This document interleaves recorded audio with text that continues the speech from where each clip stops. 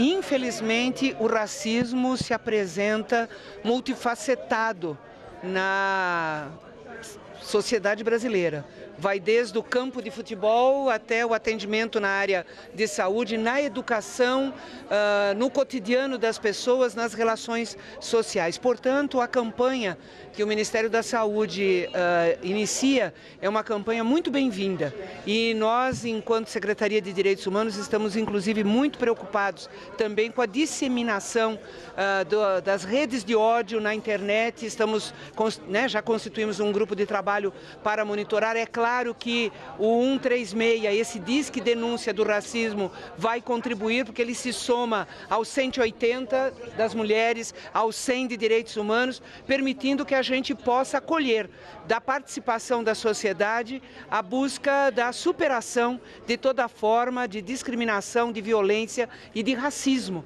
né? porque na realidade o racismo ele, ele se apresenta também multifacetado. Né? Então é por isso que para nós é tão importante a, a, campanha e nós podermos integrar os órgãos de governo aqui, inclusive na solenidade, eu comentei com o próprio ministro Quioro, que seria muito bom também nós acionarmos o Ministério da Educação, porque racismo também deseduca, uh, como o racismo provoca né, inúmeras outras uh, outros malefícios para as pessoas no seu cotidiano, na sua vida e na, no seu reconhecimento de direitos.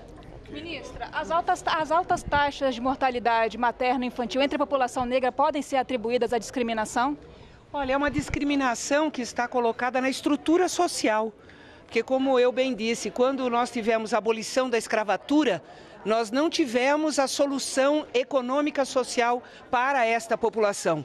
O Brasil que concedeu terra aos imigrantes. Uh, europeus, não concedeu terra aos africanos que foram, né, com a escravidão, retirado, entende, da, das plantações. Então, eh, digamos assim, que nós temos historicamente, culturalmente, socialmente, uma discriminação institucionalizada à população eh, negra no país. E por isso que nós precisamos de políticas públicas que reconheçam isto e superem, como é a política de cotas, como é a política, entende, que nós adotamos de na diversidade, darmos o respeito e oportunidades igual, iguais para todos.